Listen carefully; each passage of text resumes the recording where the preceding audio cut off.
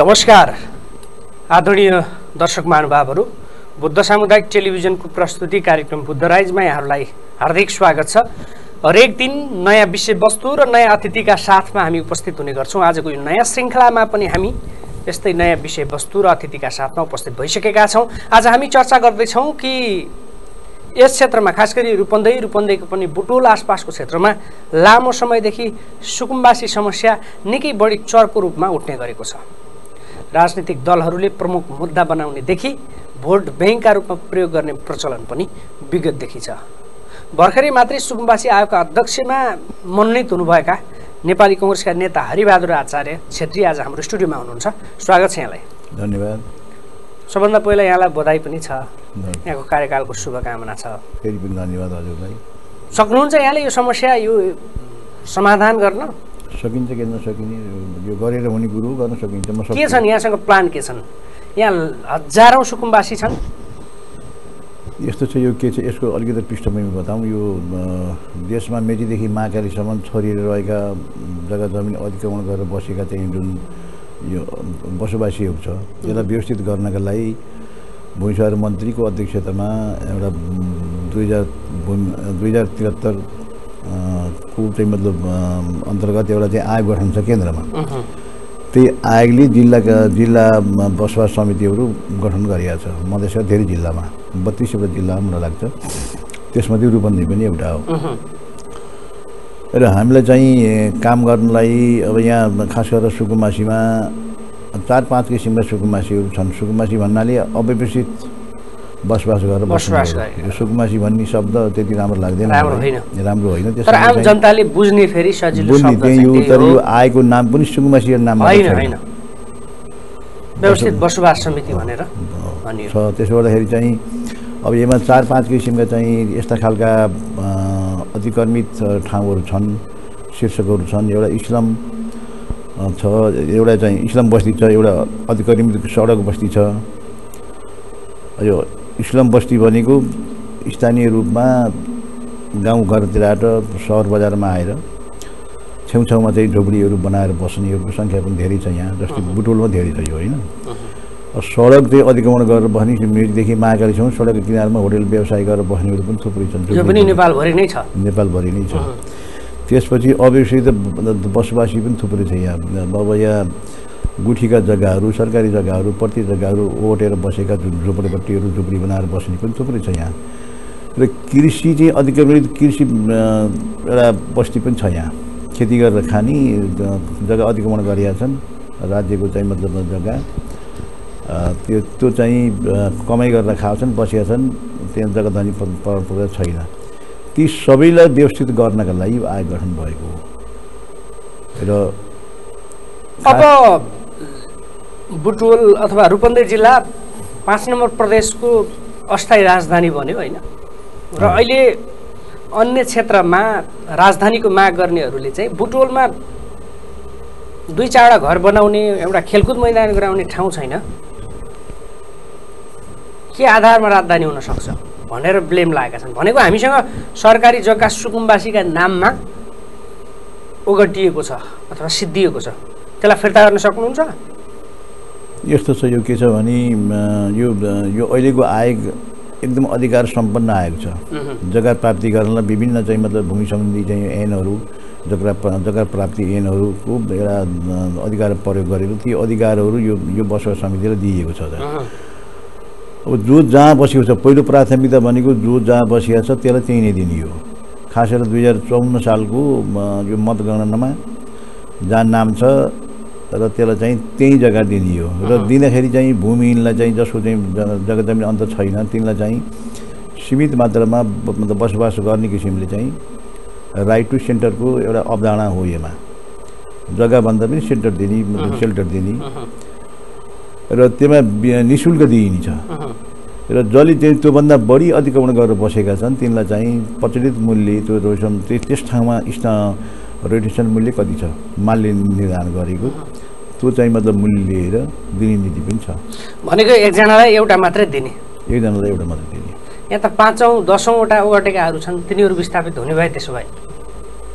यस्तो छ सरकारले यो अम, सुकुम्बासी भनेर जुन भनियो पहिला यो वास्तवमा चाहिँ यो समस्या कहिले सम- सम- समाधानै हुँदैन। यसलाई स्थायी चाहिँ मतलब समाधान गर्नका लागि यो अहिलेको जुन योजना छ यसबाट चाहिँ मतलब यो के भने जग्गा अहिले चाहिँ यो अहिले दिएको चाहिँ मतलब यो हामीलाई दिएको अधिकारमा दिएको जुन जग्गा हामीले चाहिँ वितरण गर्नेछौँ त्यो बिक्री वितरण गर्न पाइँदैन।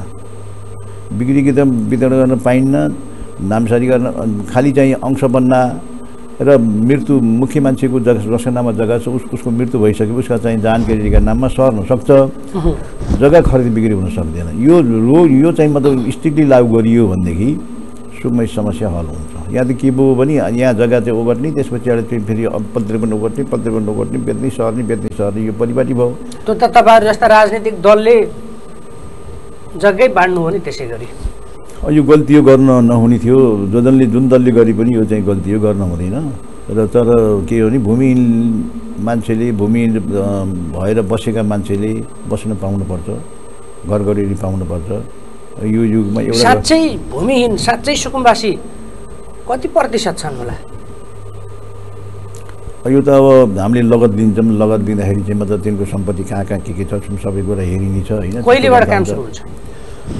काम त सुरु भएकै छ। अब मैले चाहिँ पदबाली गरिसकेका छु।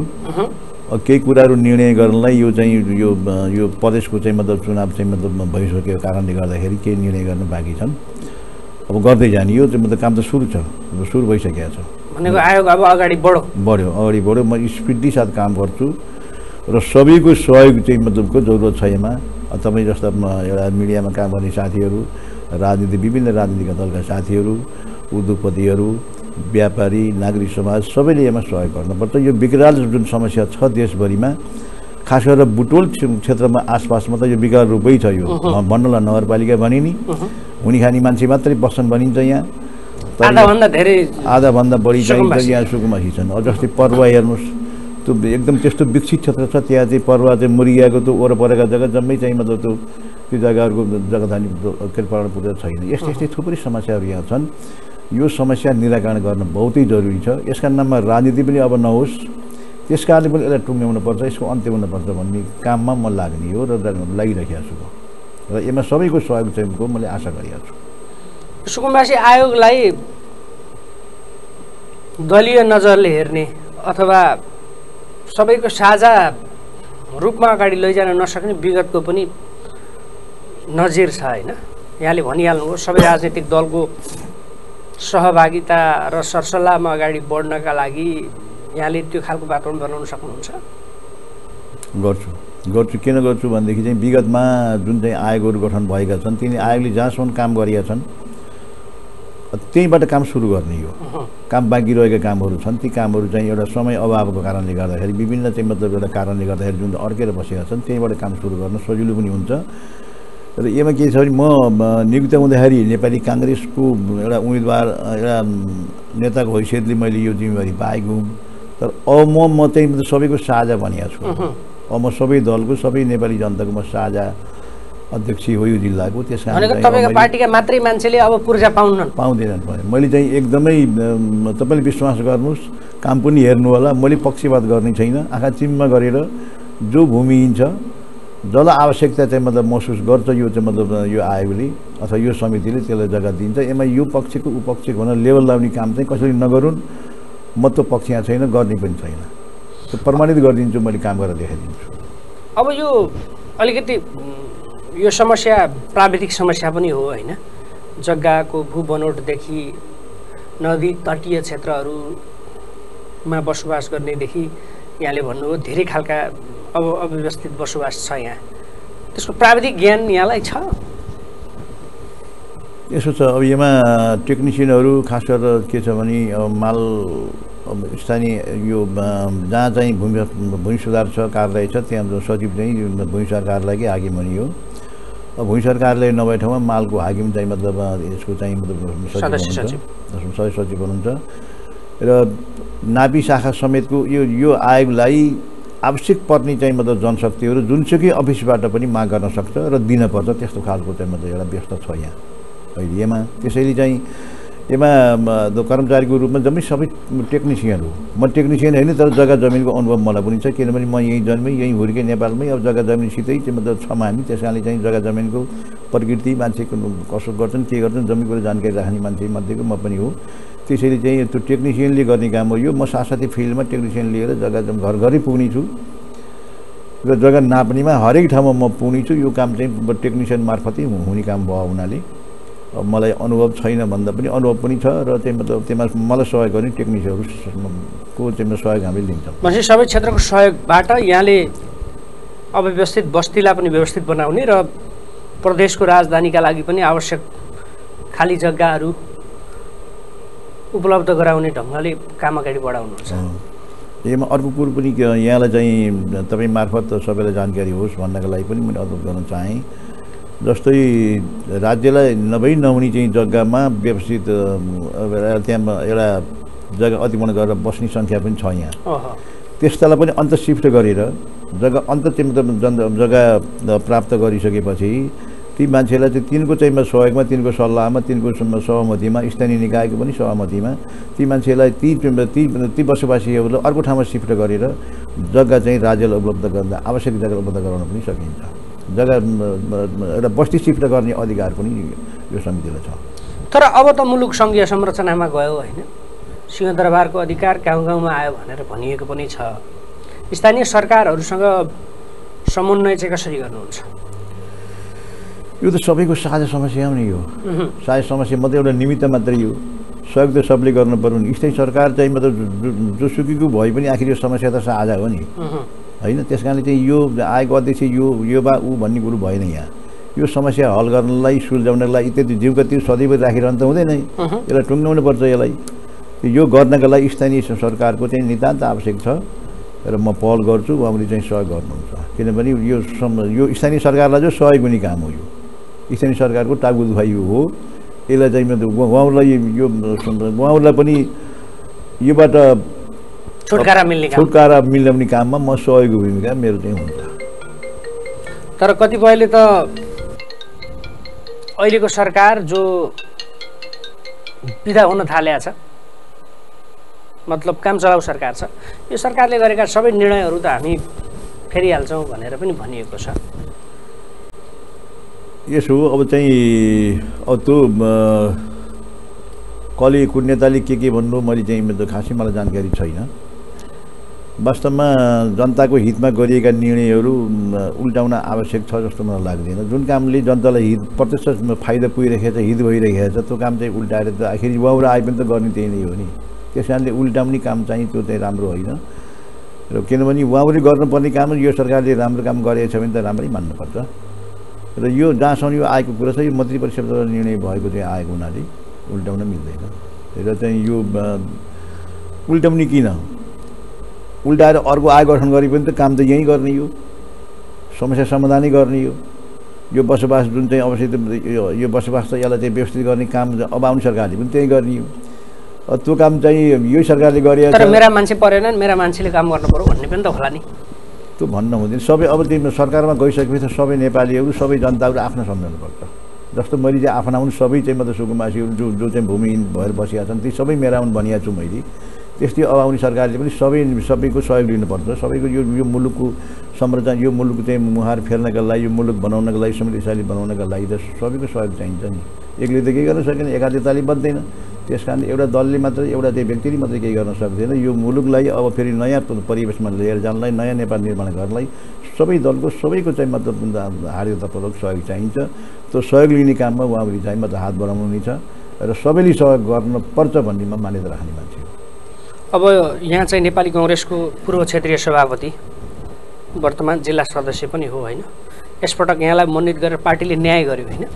यहाँले स्थानीय तहको निर्वाचनमा प्रदेश प्रतिनिधि सभाको निर्वाचनमा पनि आफूले अघि सार्नु भएको थियो। यति बेला आएर न्याय भयो। यसो भयो। खास गरेर के हो भने यो चाहिँ यो विभिन्न कारणले गर्दाखेरि स्थानीय र विभिन्न तहका निर्वाचनहरू हुन सकेका थिएनन्। धेरै वर्षमा चाहिँ मतलब यो स्थानीय तहको निर्वाचन र यो प्रदेशको पनि नयाँ संरचना चाहिँ मतलबमा निर्वाचन हुन थाले हुनाले अब इच्छा आकाङ्क्षा राख्ने चाहिँ पार्टीमा धेरै जो हुन्छन्। फेरि बिस वर्ष एउटा लामो मतलब कालखण्ड हो। चार टाइम टाइममा प्रत्येक पाँच वर्षमा चार वर्षमा चुनाव भइ भइदियो भए मान्छेले पालो पाउँदै जान्थ्यो। पुग्थ्यो। अब बिस वर्षमा भयो बिस वर्ष भएपछि आकाङ्क्षी धेरै हुने भए। तर खासै गरेर खास गरेर चाहिँ भन्नुहुन्छ भने मैले चाहिँ अब राजनीति गर्ने मान्छेले यता इच्छा राख्छ जो होइन लाभको पदमा जानलाई। तर मैले खासै इन्ट्रेस्ट गरेँ होइन। एकछिन त मैले गरेँ होइन? म पनि योग्यता पुगेको मान्छे हो। त्यति पद जो अहिले एउटा चाहिँ सम्पन्न भए स्थानीय प्रदेश र केन्द्रको यीमा सबैमा म योग्य थिएँ यहाँ। के क्षेत्रीय सभापति भइसकेको मान्छे हो र पाएको पुरानो मान्छे हो। बुटोलमा आएर बसेको धेरै पनि भयो। बायोडाटा सबैका लागि फिट थियो। फिल्ड थियो मेरो। यति हुँदाहुँदै पनि मैले चाहिँ अन्तिमतिर गएर मैले चाहिँ प्रयास गरिनँ। साँच्चै भन्नुहुन्छ भने त तपाईँलाई जानकारी छ पत्रकार साथीहरूलाई यो तपाईँ मार्फत सबैलाई जानकारी होस्। मैले यो दौड दौडमा लागिनँ म।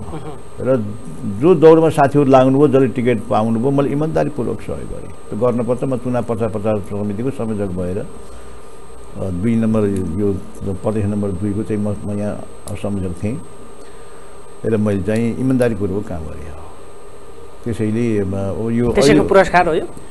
त्यसैको पुरस्कार होला अब पार्टीले पनि त न्याय गर्नु पऱ्यो नि खटिया मान्छेलाई। फेरि मेरो के छ भने यो यो जुन यो बसोबासको समस्या छ नि यो हल गरिनुपर्छ भनेर पटक पटक बोल्ने मान्छे हो म।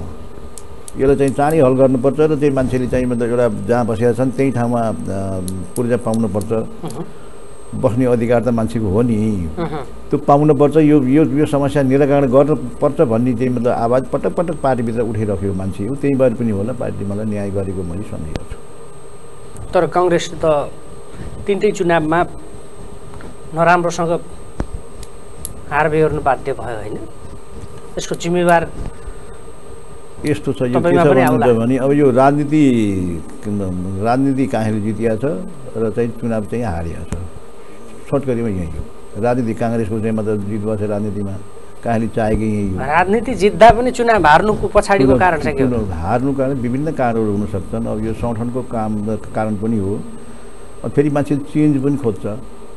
उसलाई पनि त हेरौँ न त भन्ने पनि हुन्छ। त्यस कारणले चाहिँ यो चुन- चेन्जको कारणले पनि हो। केही कम केही कमी कमजोरीहरू हाम्रा पनि छन्। त्यसलाई चाहिँ करेक्सन गर्दै जाने हो।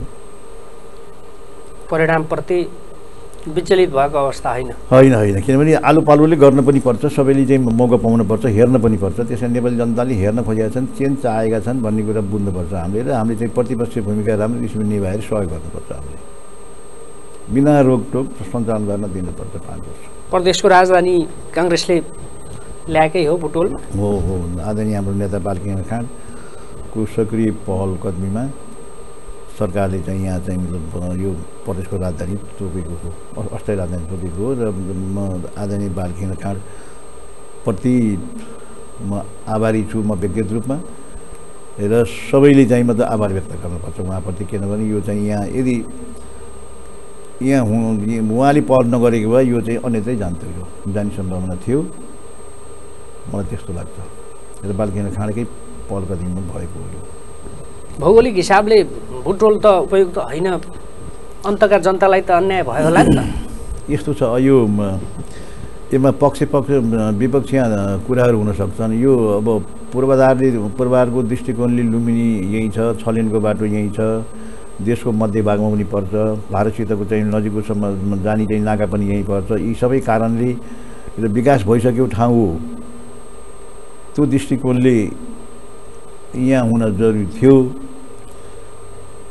अब यो भन्दाखेरि फेरि हाम्रो हामी जस्तै साथीहरू थुप्रै साथीहरूलाई मर्का परेका पनि। बर्दियामा पनि छन् नि। बर्दिया पनि छ।